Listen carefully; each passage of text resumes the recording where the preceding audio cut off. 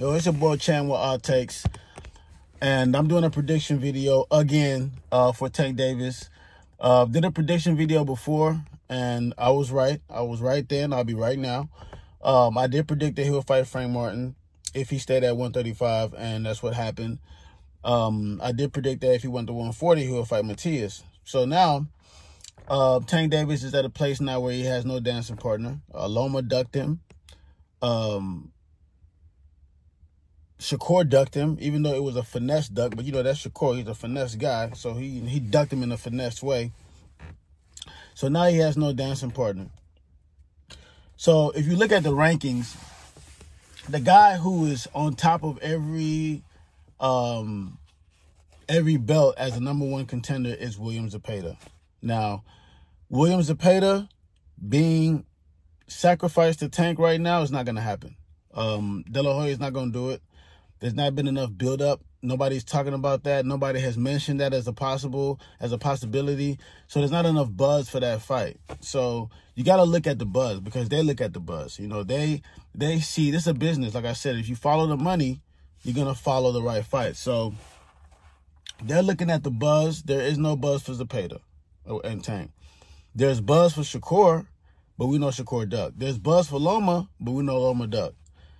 So what is the buzz right now? As far as 135 goes, people there's a small buzz for De Los Santos.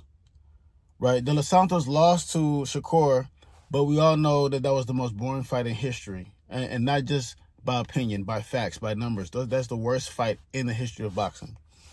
So he doesn't have a lot of suitors, but it's also been said that De Los Santos is not going to fight again until 2025. So that knocks him out of the picture as a as a possible opponent. Then you have Muratalla. Muratalla is not ready for a Tank Davis fight. There's no buzz for that fight. He doesn't have a belt. There's no need for that fight. That fight is going to be talked down upon. There's no need for Tank to do that, especially with his six fight deal. You got to understand that six fight deal means that he has to fight some big name. It doesn't have to be big name, but they're to have to be viable opponents that bring in money. And Muratalla, Muratalla is not that guy. So what my common sense tells me is that if they were in negotiations to fight Lomachenko, that means that Top Rank and PBC were sitting at a table discussing a fight. Top Rank or Bob Arum is not the one who said he doesn't want the fight anymore. He's backing out. Neither uh, was anybody on Tank's side saying that. It was the fighter himself. It was Loma himself that said he didn't want to fight. Of course, you have to follow his orders. He's the one that has to get in the ring. If you say he doesn't want to fight, he doesn't want to fight. So now, when you have that kind of agreement and that date set, and then your fighter backs out, there's some kind of onus. There's something that that, that promoter has to do to make up for that loss, make up for that mishap. So that means that the fighter that Tank is going to fight is going to have to come out of top rank. Not only would he have to come out of top rank, he's going to have to, they're going to have to bend a little bit. So who is that guy coming out of top rank that is going to be able to make up for that blunder that Loma did and, you know, keep the business good? There's going to have to be Berinchyk.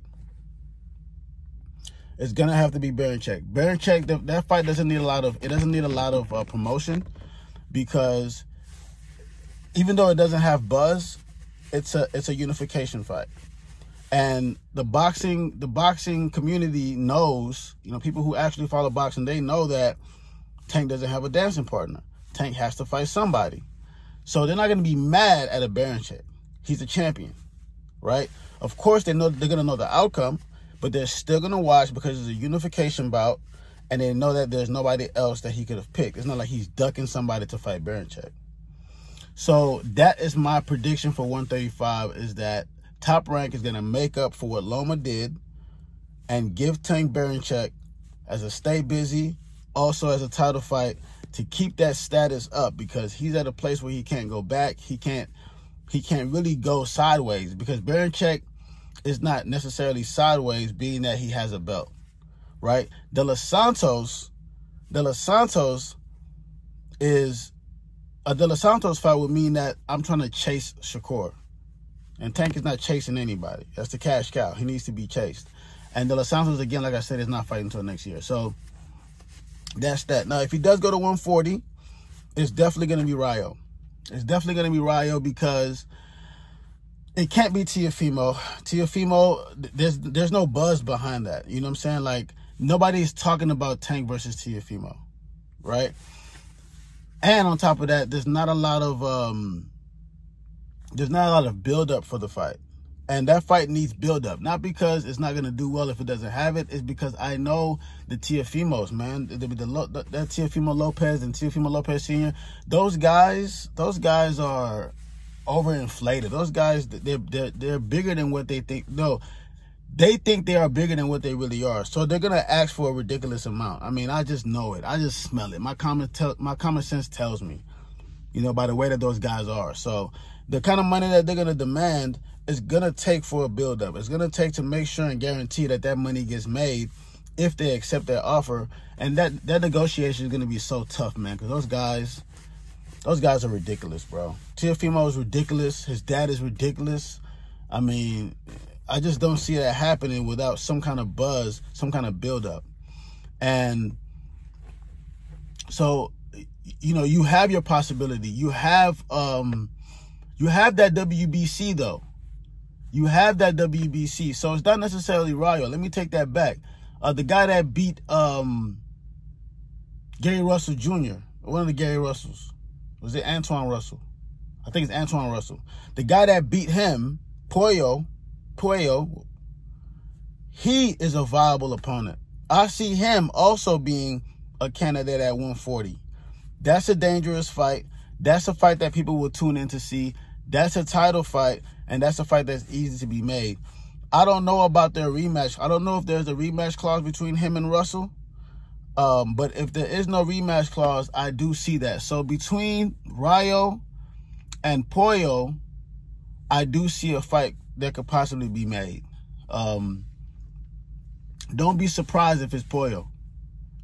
Do not be surprised if it's Puello at all. Um, but the bigger money will be Rayo. Why? Rayo is more well known. Rayo is um Rayo beat Pitbull and Pitbull had a name off of Tank. So if Pitbull had a name off of Tank, Tank was already aiming at Pitbull as a backup plan and he beat him on a national stage. I mean, you know, the, the Russell fight was was the Russell fight was was the undercard of Tank so that was a national stage, but that upset is not really being talked about as much as the Rayo fight is. So I would see Tank fight in Rayo at 140 and then Tank fight in Berinchyk at 135 if he was to fight. That's my odd take. But I will say as a um as an addition, I do see Puello and that's that's just bottom tier. So I'm not trying to give myself an out by giving three people, but don't be surprised if it could be Puello as well. But I'm going to stick with, I'm going to put my name behind Rayo at 140, Berinchyk at 135. That's my odd take.